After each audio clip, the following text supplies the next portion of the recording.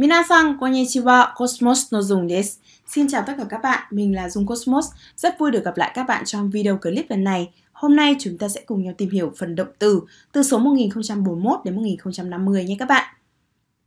Đầu tiên đó là từ lekusu hoặc là lekusuru. Chính là chữ lược để mang nghĩa là lược bớt, tóm tắt hoặc là nói tắt, viết tắt lại. Semaru là chữ bách, nghĩa là cấp bách uh, thúc giục ai đó hoặc là tiến gần đến ai đó làm gì. Ví dụ như là eh, có một cái uh, xe xe ô tô đằng sau nó cứ dan dan semaru semate kuru chẳng hạn nó tiến lại gần với mình. Hay là uh, chúng ta gần gần đến cái hạn rồi shimekiri ga semaru cũng dùng. Hoặc là khi mà chúng ta bị uh, cấp bách quá thúc giục tiến sát. Tiếp theo là chúng ta tìm hiểu với từ nerau. Nerau ở đây là chữ thư mang nghĩa là uh, mục đích nhắm đến chúng ta hướng đến một cái mục đích một cái mục tiêu nào, hoặc cái đích cái đích, cái cái kẻ thù nào đó, thì chúng ta sẽ dùng với từ nê đạo. Dai sang, ví dụ như là kanozo nó dai sang một nê đạo. Nhắm đến cái tài sản của cô ấy. Tiếp theo là chúng ta có ba cái động từ đều đi cùng với okasu okasu ba cái đều okasu nhưng okasu thứ nhất, đây là chữ phạm, mang nghĩa là phạm tội. Tạo ra tội sumio okasu tạo ra tội ác tiếp theo đó là chữ xâm. Xâm này trong cái từ xâm lược xâm chiếm ấy. Ví dụ như là Betonamono Ryodo Okasu. Xâm lược cái, cái lãnh thổ của Việt Nam chẳng hạn.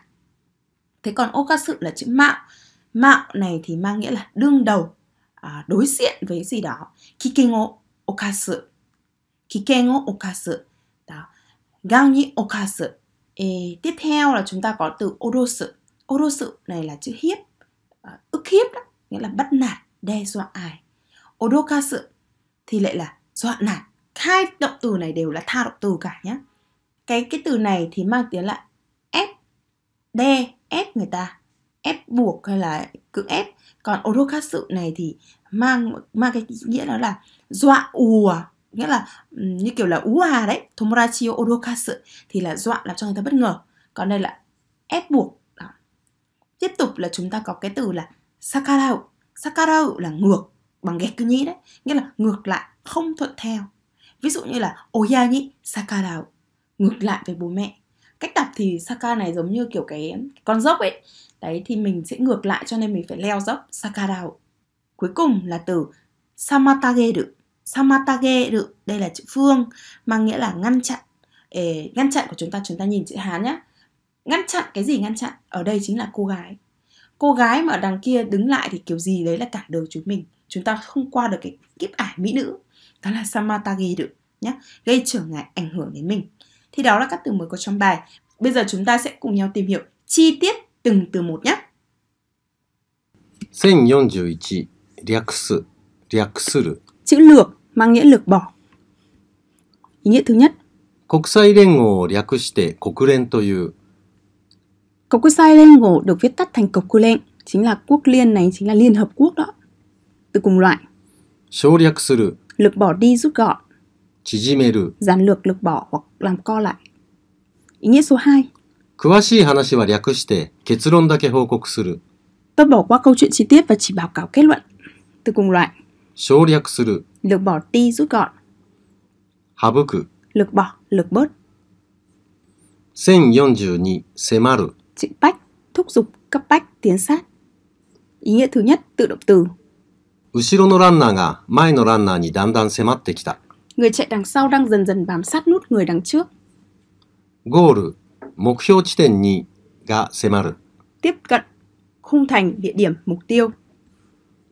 Ý nghĩa số 2, tự động từ. 結婚の日が目前に迫っていた Ngày kết hôn đã đến gần ngay trước mắt.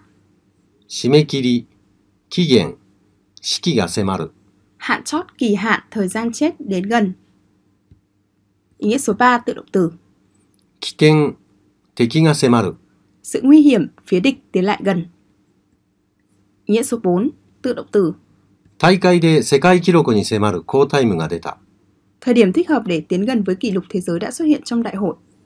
この会社は新しいがすでに業界トップの大手に迫る勢いだ Công ty này mới nhưng đã đuổi kịp những doanh nghiệp lớn hàng đầu trong ngành.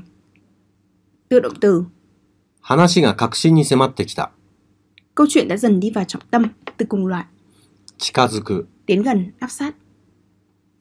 Ý nghĩa số 5 tự động từ この地方は山が海にまで迫っている。 khu vực này núi nằm sát với biển. Quán ngữ, 胸、心に迫る。 cảm nhận sâu sắc, 真に迫る。 gần với sự thật. Tha động từ 借金の返済を迫る。 thời hạn trả nợ đến gần. 恋人に結婚を迫る。 Tôi yêu cầu hay là đòi người yêu kết hôn. Tha động từ tiếp theo 必要に迫られて車を買った。 Tôi đã mua xe ô tô do nhu cầu bức thiết. アパートの立ち退きを迫られている。 Tôi đã bị dục ra khỏi căn hộ. 1043狙う。 Chữ thư mang nghĩa nhắm vào, nhằm mục đích. 的を狙って撃つ。 Tôi nhằm bắn vào mục tiêu. ライオンがシマウマを狙っている。 Con sư tử đang nhắm vào mục tiêu là con ngựa vằn. 彼女は彼の財産を狙って結婚した。 Cô ấy đã kết hôn nhằm vào tài sản của anh ấy. 来年は一つ上の大学を狙いたい。 Năm tới tôi muốn hướng đến mục tiêu là vào trường đại học cao hơn một bậc. この商品は若い女性を狙って開発された。 Sản phẩm này được phát triển nhằm vào đối tượng khách hàng là phụ nữ trẻ tuổi. Danh từ 狙い。狙いを定める。 xác định mục tiêu. 1044犯す。 Tiếp theo sẽ có một số từ cùng một cách đọc là okasu, nhưng mà đầu tiên đó là chữ Hán Việt chữ phạm, mang nghĩa vi phạm, xâm phạm, phạm này trong từ phạm nhân phạm tội. 罪を犯したら償わなければならない。 Nếu phạm lỗi thì phải bồi thường, 犯罪、過ちを犯す。 phạm tội, mắc sai lầm. 1045犯す。 Chữ xâm trong từ xâm lấn, xâm nhập, tấn công. Ý nghĩa thứ nhất, 他国の領土を犯す。 xâm phạm lãnh thổ nước khác, 領空、国境を犯す。 xâm phạm không phận, biên giới, từ liên quan, 侵略する。 xâm lược, 侵犯する。 xâm phạm. Ý nghĩa số 2, 人の所有権、自由、 プライバシーを犯す。 vi phạm quyền sở hữu, sự tự do, riêng tư cá nhân của con người, từ cùng loại, 侵害する。 vi phạm, xâm hại, 1046犯す。 chữ mạo trong từ mạo phạm, đe dọa, mạo hiểm đó. Ý nghĩa thứ nhất, 救援隊は危険を冒して遭難者を救助した。 tội cứu viện đã đương đầu với nguy hiểm để cứu người bị nạn. Ý nghĩa số 2, この病気になると 脳が侵されるそうだ。 bị căn bệnh này sẽ khiến cho não bị ảnh hưởng, 癌に侵される。 bị ung thư. Ý nghĩa số 3, 私は神の教えを犯してはならないと教育された。 tôi đã được dạy rằng không nên mạo phạm đến những lời dạy của thần hay của Chúa. 1047脅す。 Chữ hiếp trong từ uy hiếp, ạ, đe dọa, bắt nạt, dọa dẫm. ナイフで脅して金を奪う。 Anh ấy hoặc hắn đe dọa bằng dao và cướp tiền. 金を出さないと商品に針を入れる。とスーパーを脅した男が逮捕された。 Người đàn ông đe dọa siêu thị rằng nếu không đưa tiền thì tôi sẽ chọc kim vào sản phẩm. Và người đó đã bị bắt. Từ cùng loại, 脅迫する。 cưỡng, bức, ép buộc, áp bức. Danh từ, 脅し。 sự đe dọa, lời hăm dọa, 1048脅かす。 chữ hiếp, đe dọa, đây là tha động từ. 暗いところで突然大声を出して友達を脅かした。 Tôi bất ngờ hét to lên trong bóng tối hù dọa bạn bè. 今日試験だよ。え、嘘だよ。なんだ、脅かさないでよ。 Hôm nay có bài kiểm tra nhỉ? Hả? Mình đùa đấy. Trời ạ, làm ơn đừng dọa tớ. Từ cùng loại, 驚かす。 gây ngạc nhiên, gây sợ hãi. 1049逆らう。 Chữ nghịch mang nghĩa ngược lại, đảo lộn, tự động từ. Ý nghĩa thứ nhất, 川の流れに逆らって進む。 đi ngược với hướng chảy của dòng sông, 風、自然の法則、時代、運命に逆らう。 ngược chiều gió, đi ngược lại với quy tắc của tự nhiên, thời đại và vận mệnh. Ý nghĩa số 2, 親、上司、命令に逆らう。 tôi chống đối lại bố mẹ cấp trên hay là mệnh lệnh. 1050妨げる。 Chữ phương mang nghĩa gây trở ngại, ảnh hưởng. Đây là tha động từ. 過保護は子供の成長を妨げる。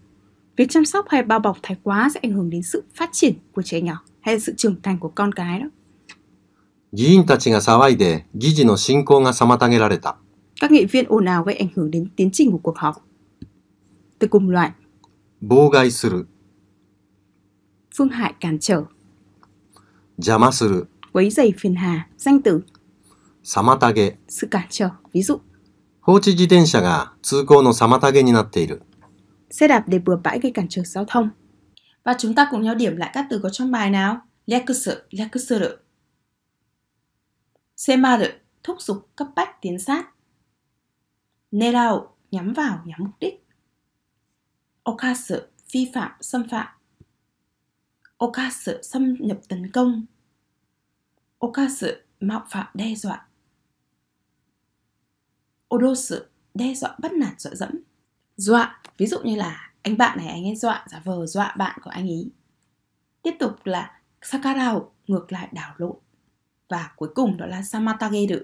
Thì đấy là các từ mới có trong bài ngày hôm nay. Chúng mình hãy cùng nhau ờ, ghi lại các động từ này theo một list và đi kèm với danh từ nào và ví dụ ra sao thì chúng mình cũng memo và cố gắng là anki shimasu.